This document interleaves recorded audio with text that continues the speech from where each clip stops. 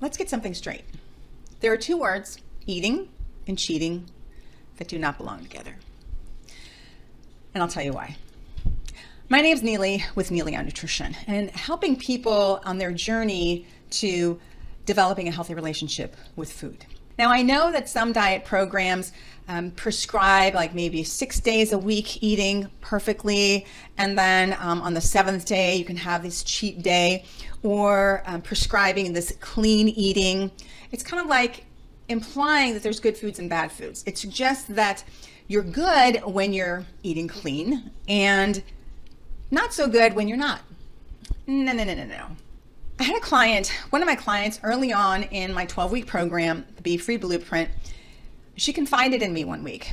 And she said, you know, she said, I was bad this past week.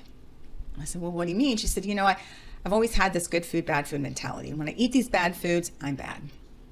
So we talked about that. I said, well, what kinds of foods are in your bad category? She said, well, like, you know, pizza and burgers and fries and fried foods and sweets and treats and ice cream. And I said, so if a friend of yours had one of those foods, do you think she's bad? Do you judge her for eating those foods? And my client said, well, no. And I said, what about me? What if I told you that I eat those foods on occasion? Would you feel any differently towards me? Would you think less of me, your nutrition coach? I said, would you not want to work with me? She goes, oh, no, no, no, no. Yeah, yeah, yes. She goes, no, I want to work with you. She said, I want to get over this good food, bad food, cheat meal kind of mentality. It's really wreaking havoc with my mental health.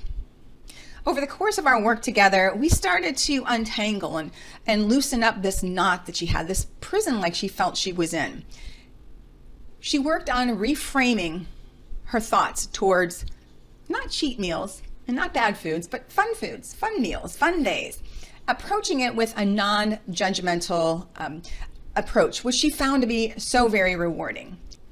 What I ask and what I encourage people to do is not to have this cheat meal kind of a mindset. A cheat meal mindset is a short term mindset. It's kind of like what I saw recently on social media. Your body is not Amazon Prime, it's not going to show up in two days.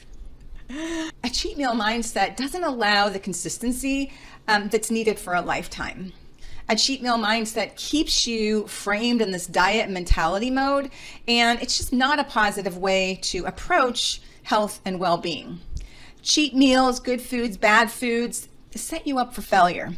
It set me up for failure, it set my client up for failure. No, you are not a failure. I was not a failure. The diet, your program has failed you. What I'd like you to do instead is develop this freedom with food mindset. Reframe your thoughts.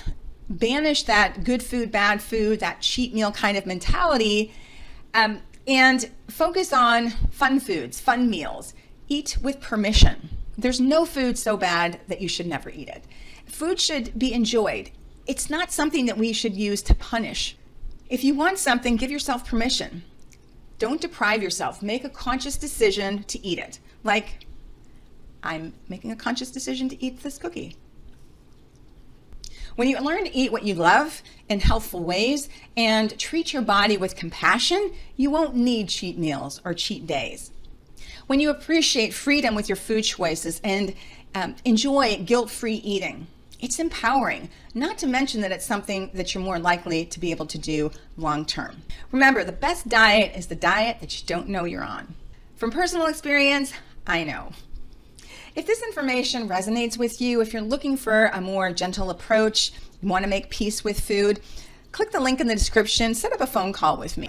If you want to learn more, check out this video here and I kind of talk about the habits that, that I have myself and then also that I encourage my clients to have. Thanks for watching Neily on Nutrition. We'll see you in the next video. Take care.